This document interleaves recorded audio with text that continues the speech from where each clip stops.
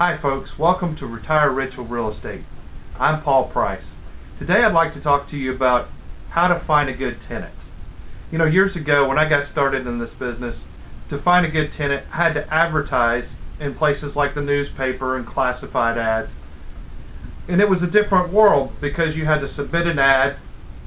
You might have to wait a few days before it would run in the, the local paper, and then you would start getting calls.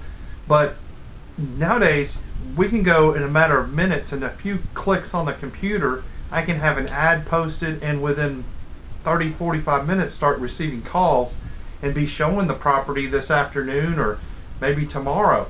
Uh, so the, the speed of things is much quicker nowadays, which is which is good because time is money, and we all know every day that a property sits vacant is costing us money. So we want to fill these vacancies quickly as possible but we also want to make sure we have quality tenants. Because without quality tenants we could cost ourselves a lot more money than just waiting for the right tenant to come along. Um, try not to get in too big of a hurry on these things because if you put someone in quickly just to get the property filled a lot of times you put a bad tenant in it can cost you hundreds maybe even thousands to get them out if you have to evict them so you want to avoid that at all costs.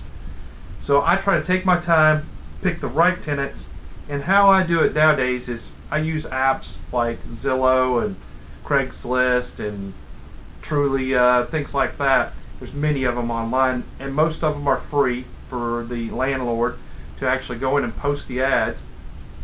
I start receiving calls or emails. I try to try to pre-screen a little bit, and the reason I do that is because you know uh, many times, you know, I used to just, you know, people would call me and I'd say, yeah, I can, you know, it's still available, yes, and when can I see it? And you just run out there and show it to them, and you find that you waste your time a lot because you get out there and you find out either they don't make enough money, or they've got pets and you don't allow pets, or, you know, it's a three bedroom and they need a four bedroom. I mean, people just they don't read the ads, and they read so many ads they get them confused, and by the time they call you, they don't know who they're which ad they're responding to a lot of times. So I try to go back over things with them when I've got them on the phone, especially, and say, you know, hey, you know, you don't have any pets, do you? You know, because we don't allow pets, and make sure that they're, you know, the answer is no. There, I don't have any pets. Um, also, things like, you know, the rent is X number of dollars. You know, here's how much the deposit is. You know, do you have all that together? Because you know, you get people come in and they'll and Here's another thing that happens quite frequently. People come over and they'll look at a property and then they'll tell you, oh yeah, I'm, I'm just looking right now, but I'm going to move, you know, three months from now. That does you no good because, you know, if you can't rent this apartment or house in three months, you've got bigger problems. You know, you're going to have this thing rented in a week or so. And so they're wasting your time because this property is not going to be available three months from now. And so you need to find out when they plan on moving. Do they have the money to move? You know, do they have a job? You know, what kind of income they have. And I usually go as a rule of thumb that they make at least three times what the rent is. So if I'm renting something for, let's say $600 a month, they need to be making at least $1,800 a month in income, or they can't afford to live there. And this is a pretty good rule of thumb that, that I found. Um, you know, so you you have to know what those numbers are and you know what to know the right questions to ask. But if you pre-screen people on the phone, you'll find a lot of times you can weed out some of these people who are you know looking way too soon, or they've got pets, or they you know they they're just not the right fit for you. And then that saves you time from having to go out there and show the property and waste your time and their time both. The other thing that I've learned over the years is to schedule appointments wisely when you're getting calls, you know, I know when I was first starting out, I was nervous anytime I had a vacancy, and I wanted to have the property rented immediately because I had a mortgage to meet and I had other obligations, and so I needed that cash flow to pay the mortgage and pay the insurance and the taxes, and so I was just in a panic mode when I when I had a vacancy. Um, you know, now I, I'm in a much better position, and that's not even an issue at this point, but I understand that being a new investor, when you have a mortgage and you have other obligations, you want that thing rented. but don't let that cloud your judgment because you know uh, one thing I would do is I would, somebody would call and say, yeah, I can see the property right away, and uh, I, would like to see it this afternoon, and I would drop everything and run out to the property. And in my case, the property is about 20 minutes away.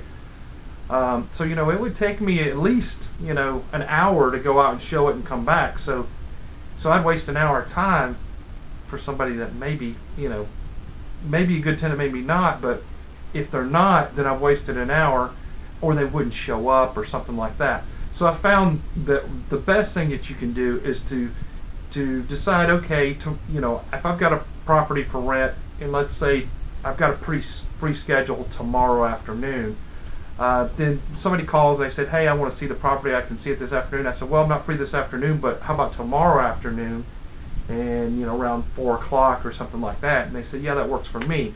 Then the next person calls and you say, "Hey, you know, if you'd like to see the property, I'm going to be out there tomorrow around four you know, if you'd like to see it around 4:15 or 4:30 or somewhere around that time, I'd be glad to show it to you then. Most of the time, that'll work. Most of the time, people will, will work with you, and if you tell them that's when you're available, that's when they'll try to be there to see it. If you can schedule two or three appointments around the same time, I usually try to allow about 15 minutes in between them. Uh, if somebody doesn't show up, which that happens quite often, because you got to remember these people that are calling you, they're calling 10 other people. You're not the only place they're calling on. So if they call, you know, 10 other people to look at their places and they go look at a place and they find one, they're not going to call you back and cancel. They're just going to not come. So that happens. They find a place somewhere else or whatever. Or they just forget they made the appointment. But what I find is if you make two or three and you go go out there to meet those people and you it may take you yeah another you know instead of an hour an hour you know there and back it may take you two hours but you've tied up you're not driving back and forth you're not wasting all that time and you meet two or three tenants. Now the, also the advantage to that say say one of them doesn't you got three appointments one of them doesn't show up the other two show up but let's say both of them are are qualified. They meet your minimum standards of qualifications. Now you've got two tenants and you've got to decide which one you like better. Which one has just a little bit better qualifications than the other. That gives you a little bit better chance because if you go one at a time, you'll take that first tenant that comes along and he might just barely meet that bar and the next tenant right behind him might be a little bit better might be up might be a little bit above the minimum so if you hit them both at the same time you're going to take that one that's a little bit higher you know take that tenant uh, that's got a little bit more income, maybe a little bit better credit history or whatever, and that's going to help you. Um, so, so it helps you in several ways. It saves your time, gives you a little bit better pull, you know, of, of prospects to pull from. Um, you know, you've got a lot better um, chance to get a good tenant. Now, once you get a tenant and they've looked at the property, they like the property, you feel like they're a good fit for you, and they feel like the property's a good fit. What do you do next? Well, next, I take an application. Uh, now, the application, we do charge for application. We do charge an application fee. Uh, our fee is about $35 right now. And what that does is that covers my cost to do a background check and I will have a company do a background check. They'll pull your credit, and they'll do a criminal check, and they'll also do a evictions check. Those are all public record ch- checks, and you know there's more to this stuff than you realize. Why that does give you good, valuable information, it doesn't give you everything. And I can give you several stories. For example, um, the criminal part is only convictions, uh, as well as you know evictions are only court-ordered evictions. So if a tenant, you know, if a landlord came to a tenant and said, "Hey, I need you to get out. You're not paid your rent," and they just leave and they don't go to court, that's still technically an eviction, but it didn't go through the court system, so it's not recorded in the public record. So, so you need to make sure you're doing your due diligence and doing your own legwork on these things. And what I do I start out by usually, after I get the application, I'll look over everything and everything looks pretty good. I'll take their name and I'll Google their name. This will give you information usually like Facebook and LinkedIn and any other information that, that they have out on the internet that's going to pop up. and you know you can kind of find out a little bit about the tenant, you know what their you know who their friends are and what what kind of things they like to do and things like that. And you think, well, that doesn't really seem like that'd be important. Well, you know, you'd be surprised at what you'll find about people, especially on Facebook and things like that. And you may find out that they're into activities that may be illegal or things that you may not, you know, want to be going on in your properties. Um, and so, and, that, and one interesting thing that happened once uh, is I found an application. Um, I had a previous landlord on there, and it just so happened to match one of their Facebook friends, and they were tagged in a bunch of pictures together. And sure enough, when I called that so-called landlord, uh, which actually turned out to be their friend, they couldn't answer basic questions like how much was the rent, what was the address of the rental property, what you know, things that a landlord should know.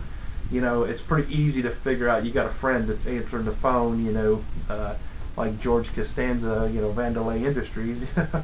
it's kind of funny, but but it, it, it does happen. You do have things like that happen. You do have people that will try to get their friends their family to answer the phone and, and give them a good reference. So you have to know what to ask and ask these questions that, that only a landlord would pretty much know. Um, and so you need to you need to make sure that you're doing those kind of things. Uh, services you can get services that will supposedly check the rental history and do employment verifications and things like that. My experience with those is they don't try very hard. Um, they do charge an extra fee to do that, but most of the time you'll get it back and say, "Oh, we couldn't get in touch with the previous landlord, or we couldn't verify this," and but I still pay for it. So I just decided I'm going to do that stuff on my own. Um, usually, I try to go back at least two landlords. Uh, you know, the first, your current landlord, if you talk to them, if that landlord is having problems with that tenant, they're not paying, they're they're they're, they're tearing the place up, they're they're being disruptive, maybe they're you know, well for whatever reason, they don't like the tenant and they want them out. Um, they may not be truthful or they may not be as forthcoming on the you know bad aspects of that tenant. So you can't always take what they say, you know, at full face value. Uh, most of the time, they're going to be fairly honest with you, but they still have a vested interest if they want rid of them to not say, you know, too much bad against them, too much negative, because then you won't rent to them, and then they'll be still they'll be stuck with the tenant. So, so be a little leery of that. If you can go back one layer, you know, go back to the previous landlord, not their current landlord, but the one they had before that, they they have really no reason to lie to you in most cases, and they're going to give you a more honest, more forthcoming information about the tenant. Uh, you know how they really were, how many times were they really late. You know what's the real story on, the, on that tenant. I always ask previous landlords, would you rent to this tenant again? That can tell you a whole lot about the tenant without them revealing uh, negative information or whatever. If they say, no, I would not rent to them again, um, you know, you can read between the lines there. I mean, there's not, you know, if a tenant pays me on time and takes good care of the property and does all the things they're supposed to, I'm going to say yes, I will rent to them anytime. You know, no problem. If they're not doing what they're supposed to do, and you just say, no, I wouldn't rent to them again, that tells you right there, you know, that there's probably some bigger issues going on, and they may not want to tell you. Um, so, you know, take that as advice. You know, that that's a good way to find out because some, especially apartment complexes they're not going to tell you a whole lot. Uh, there's too much, you know, society is just way too litigious nowadays, and people are going to sue you for everything, so they don't want to say too much. Um, one thing with dealing with apartment complexes, I'm trying to find a rental history. That's another thing. When you do an application at the bottom, I'll always have them sign a, a release at the bottom that says, you know, hey, this is all truthful information, and I give this company permission to do a complete background check and for everyone to release information uh, regarding those, you know, inquiries. So when they sign that, I can send a copy of that to uh, to any apartment complex because mostly apartment complexes are going to say, hey, we need a release from the tenant. And I said, well, it's on my application. I'm going to send you a copy of that. And then when I send that to them, I usually fax it or email it to them. I also send a little questionnaire for them. And my questionnaire is going to have questions like, you know, you know, what was the rent? How many times were they late? You know, was there any complaints from the, you know, I've got a whole list of questions. They will usually take that, fill it out, and fax that back to you. Um, sometimes it's you know might take a day or so to do it. They're they're not really fast a lot of times on the turnaround, but they will do it and they will give you a, a pretty honest most of the time uh, response on what what's going on there. If it's an individual landlord, most of the time your best bet to, to catch them on the phone. You know, talk to them. Uh, you'll get a little more, more information out of them that way. Um, and they're not going to ask for a request or anything. Usually, they're just going to talk to you. But, you know, basically, I've got four areas I'm looking at: rental history, credit history, criminal history, and the the last one's kind of tied together. It's verifying, it, you know, employment and income. Those two kind of go together. Um, you know, you got to have a job and you got to have some, enough income to support yourself.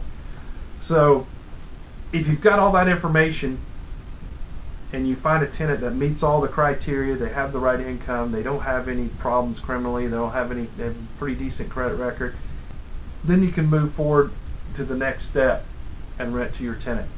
And hopefully you'll have a long-term relationship with that tenant.